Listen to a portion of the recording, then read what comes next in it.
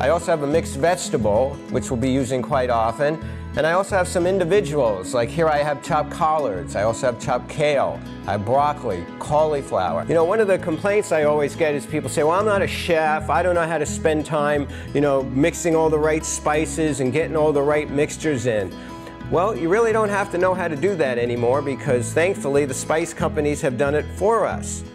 Uh, Mrs. Dash is one that's very popular and regularly available, and they have all kinds of varieties. I could get down to $3.38 a day. That was my best calculation, which is around $25 a week per person. That's $100 a week for a family of four if they do a little planning ahead.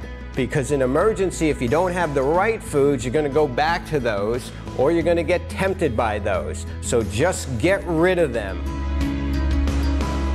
This is uh, two pounds, and normally I only add about a quarter pound, so that's about a fourth of it. And again, we don't have to weigh and measure. We're just going to put in approximately a fourth of the bag, and then we'll save this bag for a few other recipes. So I'm going to put in some chili powder, and you know, I don't have a real preset measurement. You get kind, because everybody's got a little different taste.